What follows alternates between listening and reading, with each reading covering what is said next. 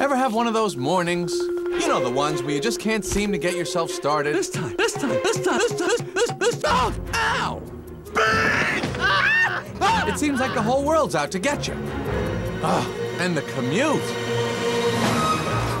At least there's always breakfast. Nothing makes morning right like a McDonald's savory sausage breakfast sandwich hot off the griddle and a premium roast coffee made the way you take it. Ah, sweet nectar.